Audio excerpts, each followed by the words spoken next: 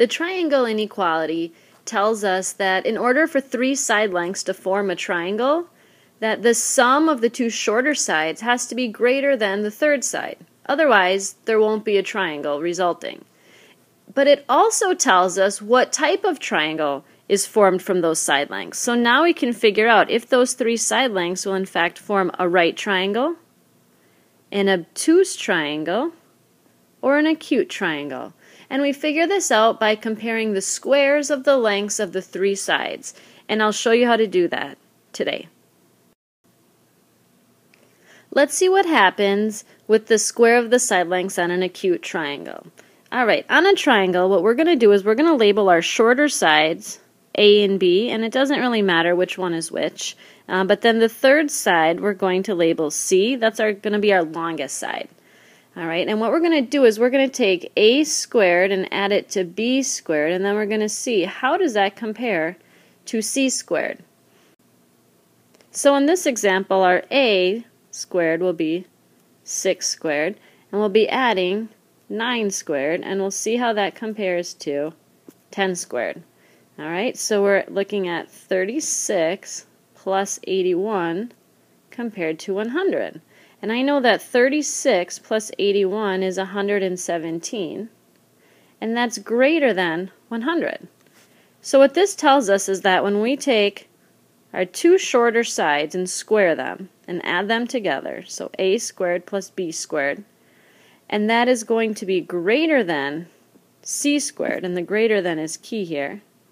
Um, then it's going to result in an acute triangle every single time. Be sure that you have this copied in your notes because you'll need it for all the examples we do um, following this video. So what happens in obtuse triangles? Well, again, we have an A and a B, which I'm going to just label as my smaller sides, and then my largest side will be my C. And now I'm going to see what happens again when I do A squared plus B squared, and we're comparing it to our C squared. So A, in this case, we used 4 plus 6 compared to 8. So 4 squared plus 6 squared how does that how does that compare to 8 squared? And I get 16 plus 36. And we're comparing that to 64. And I see that I get 40 52 and that's less than 64. And again, this happens in every obtuse triangle. And we can sum it up the following way. We'd say a squared plus b squared is less than c squared. And again, the less than is key, and now this time it results in an obtuse triangle. All right, so again, have that copied before we go on to the next example. All right, the final type of triangle that can be formed is a right triangle. So again, let's square our A, add it to our B squared, and see how does that compare to our C squared. Um, in the right triangle, A and B have to be your legs, which in this case are going to be the shortest sides. Um, and we've got A, B, and C is my longest side. So if I take um, and square my A, I have 6 squared plus 8 squared compared to 10 squared. So I'm adding 36 plus 64, and I get 100 and I see that that equals the square of my third side. Okay? And again, you guys, this happens in every right triangle. And we sum it up with symbols like this. a squared plus b squared equals c squared.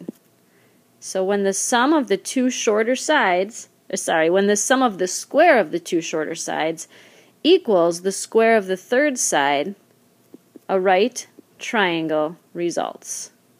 And there's a special name for that, and you'll learn about it um, later on in this chapter. Um, it's called the Pythagorean theorem, and you'll do a lot more with it. But for now, you just need to know that if you add a squared and b squared, and it equals c squared, then it is a right triangle. Let's see how we can figure out now the type of triangle that's formed. We've got side lengths 3, 5, and 6, and we want to know what type of triangle is formed. So what I'm always going to do is I'm going to take my two shorter sides and square them and add them together and see how it compares to the square of my third side and then I can figure out what type of triangle that is. So 3 squared is 9, 5 squared is 25, and 6 squared is 36. 9 plus 25 is 34, and 34 is less than 36.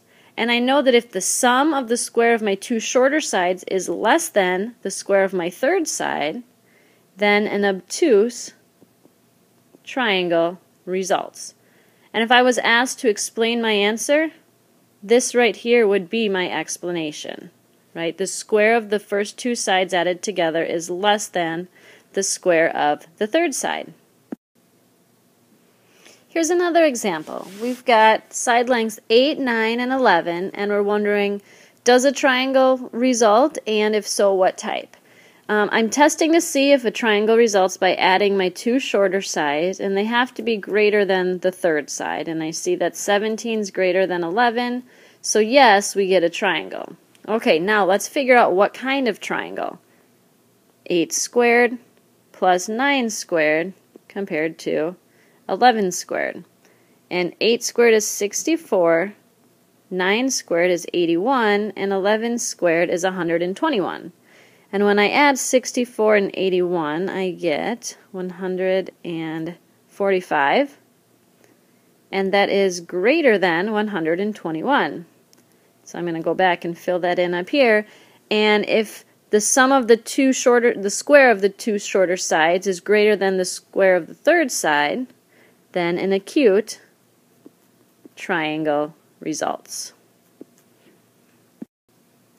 In our last example, we have 9, 12, and 15. Again, I always want to test to make sure they form triangles first by just adding together my two shorter sides and confirming that it's greater than my third. And I see that 21 is greater than 15, so yes, they form a triangle. And then, again, to determine our type, we square our two shorter sides and add them together and see how it compares to the square of our third side. 9 squared is 81, 12 squared is 144, and 15 squared is 225.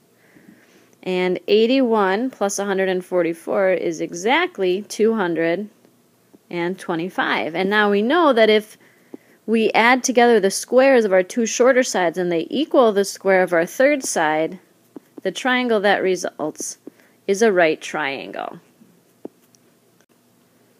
Alright, before you go on to the practice problems in the next folder, let's summarize what we did. Okay? Um, if you take the square of the two shorter sides and add them together, and the sum is greater than the square of the third side, then an acute triangle results if you square the two shorter sides, if a squared plus b squared is less than c squared, then an obtuse triangle results.